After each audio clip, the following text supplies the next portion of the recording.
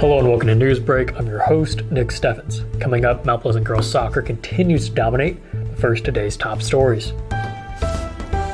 Donations in memory of beloved teacher Carla Lance have funded new book bins at Lincoln Elementary in Mount Pleasant. Lance passed away in 2018, but her impact on the school and community was significant. Traditional library organizational systems line books up with spines facing out, but the new bins will make books more accessible for younger readers still learning to read. Before the younger kids found it hard to flip through books with spines out on shelves and then didn't know where to put them back, Lance spent 40 years at Lincoln Elementary School as a teacher, where she had a passion for her students and reading. Following her retirement in 2013, she continued to serve the school and community as a substitute teacher and a volunteer. The donations to the school library were made on behalf of Lance and beautifully represent her. Her family continues to love and support the school, and her impact is still felt by those who knew her. April Cutterback has been named the new event director for Washington Chamber of Commerce. Cutterback will be managing events for the Chamber while working remotely from her position as manager of School Nutrition Association of Iowa. She said make, working from home gave her the flexibility needed to juggle it all. Cutterback has extensive experience in marketing and event management, which Chamber Director Michelle Redlinger believes will allow her to handle the position effectively. Some events will be handled by other staff members, including legislative forums, the annual dinner, and Thursday night live series. However, Cutterback will take on about 75% of the events, with her first being the Spring Craft Fair, followed by Ridiculous Days. Cutterback is excited about the role and plans to stay in touch with the community she calls home. Mount High School rep- will present the play Clue by Sandy Rustin, Hunter Foster, and Eric Price, with original music by Michael Holland on April 14th, 15th, and 16th at the Heater Performing Arts Center. The play, directed by teacher Marlene DePriest, features a 15 person cast and incorporates original music and sound effects to enhance the atmosphere of the story. DePriest expressed gratitude to volunteers who contributed to the success of the play, including Don and Kevin Wiley, who created a rotating set, and Gail Olson, who helped with costuming. Despite the serious subject matter of murder, pl- the play also includes moments of physical comedy and is family friendly for all ages. DePriest called the play unique and challenging due to the many rooms and doors involved in the production. This will be DePriest's final play directed for the district. The Washington Lions Club celebrated its 50th anniversary on Tuesday with a meal and ribbon cutting ceremony at the Washington YMCA. The club focuses on providing people with disabilities, particularly those with vision impairment and hearing loss, the service they need. The club has expanded its mission to focus on diabetes and other health issues and has merged with the Women Only Lioness Club. Lions Club District Governor Mike Renken praised the group for their community service and said that their service to the community was one of the best kept secrets there is. One of the programs initiated by the Washington Lions Club back in 2001, the Iowa KidSight, was added by the program director Lori Short for its success in highlighting anomalies in children's eyes, allowing providers to recommend examination and treatment options before many kids know or can communicate their own vision impairments. Highland school officials in Riverside kept children indoors on Tuesday after a student told administrators about a potential threat to the secondary building. However, the student later retracted their warning, and after involving law enforcement to check the threat, they were assured that there was no basis for concern. The supposed shooter was not a threat and was outside the county at the time. Superintendent Ken Crawford said the situation was resolved within roughly 90 minutes of the initial alarm. The school will continue its activities as usual this week. Crawford added that the school officials handled the situation quickly and efficiently, as they always do. We're going to take a quick break, and when we come back, we'll take a look at the weather and sports.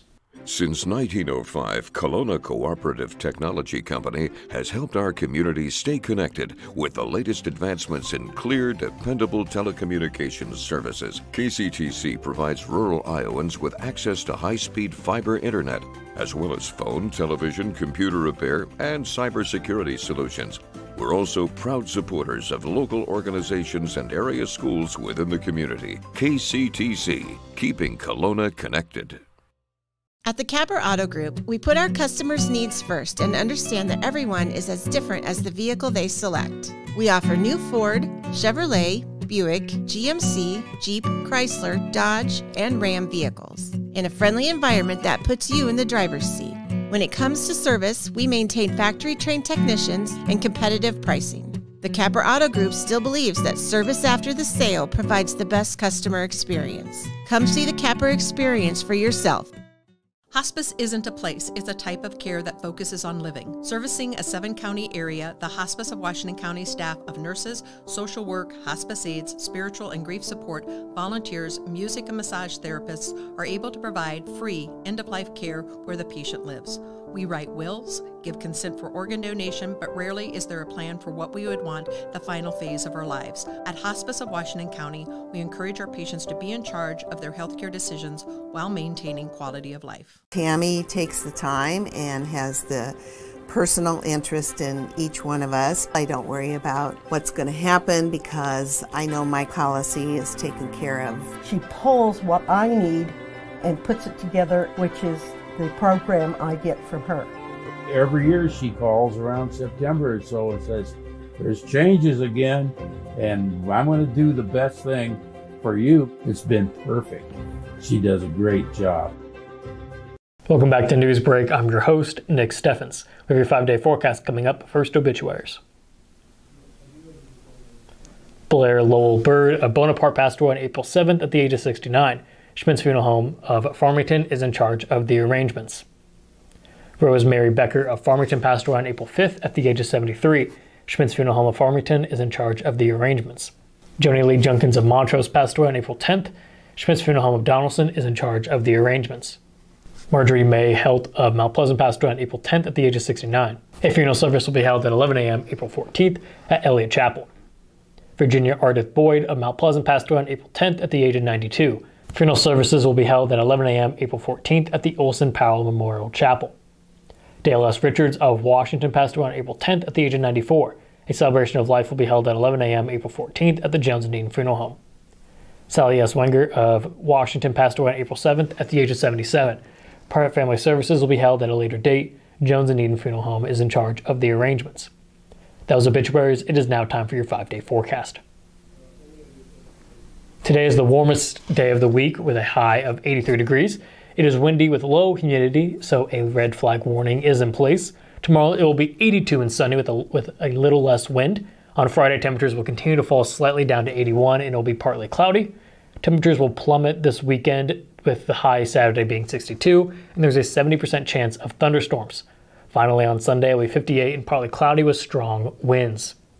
We're going to take another quick break, and when we come back, we'll take a look at sports. Federation Bank is a locally owned bank providing award winning customer service. We believe that we are more than just a federation of banks, but a federation of communities, serving Brighton, Richland, Wellman, Washington, Iowa. Federation Bank's highly skilled staff is here to make sure you are able to accomplish your personal and professional goals, whatever they may be. Federation Bank, your family bank.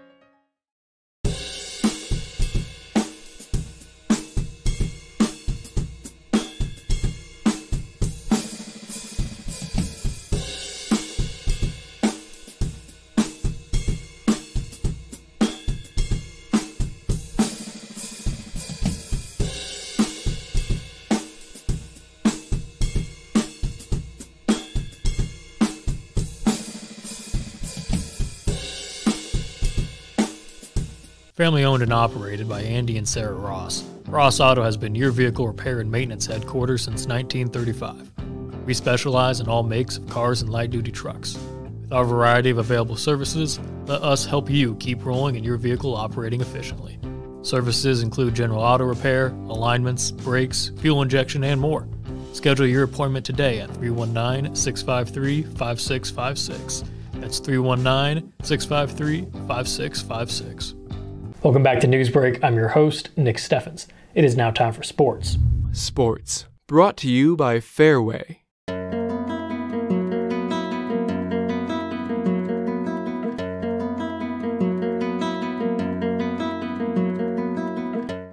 The Mount Pleasant girls track and field team scored a win in Fort Madison on Tuesday as the Panthers scored 159 points to take first in the 2023 Tim Lamb Relays.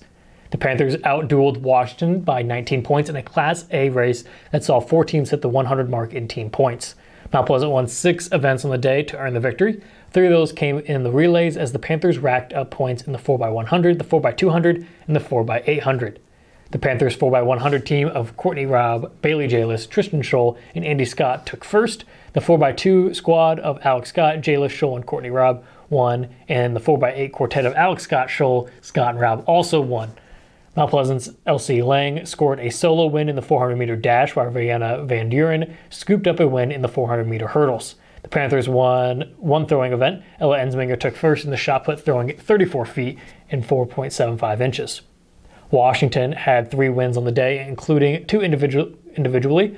Iris Dahl won the 800 meter run, and Grace Voss cleared five feet in the high jump to take first in that. The 4x4 relay team of Voss, Eden, Eden Levetsov, Lauren Horak, and Dahl took first for the Demons.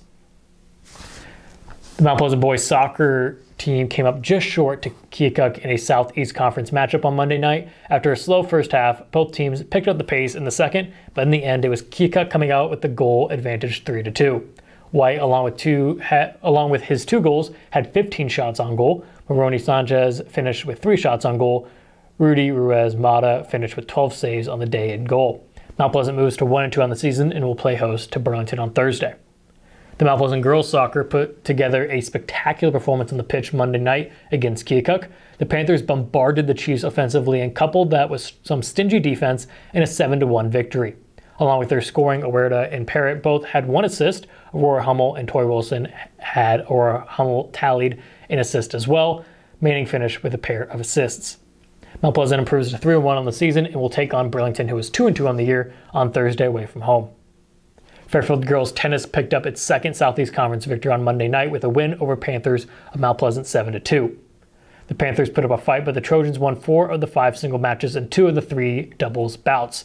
Mount Pleasant's one single victory came from Aubrey Richmond. Richmond defeated Lola Hatchett 8 1 in the number six match. The Panthers' second victory of the day came in the number three doubles match as Drury and Richmond defeated Carter and Hatchett 8 to 5. Another day, another win for the Washington girls golf team as the Demons picked up their third straight Southeast Conference victory on Monday in Fort Madison. The Demons shot 172 on the day, beating Keokuk by 23 strokes. Fairfield took third at 200, and Mount Pleasant was fifth at 223. Washington's win came on the back of McKenna Conrad's 39. She tied Burlington's Lauren Briggs for the best score of the day. Caitlin Long wasn't far behind, her teammate turning in a 41. Adeline Long shot a 45 on the day. Elisa Goff finished at 47. Macy Williams finished at 49. And Mallory Johnson shot a 51. Mount Pleasant posted their first team score of conference play. Kylie Walderback, 48, helped the Panthers do just that. Ashlyn Bokamp shot 56 for the Panthers. Elena Hultkamp finished at 61. And Felicity Metcalf ended the day at 68. That's the news for Southeast Iowa. I've been your host, Nick Steffens. This has been your news break, and I'll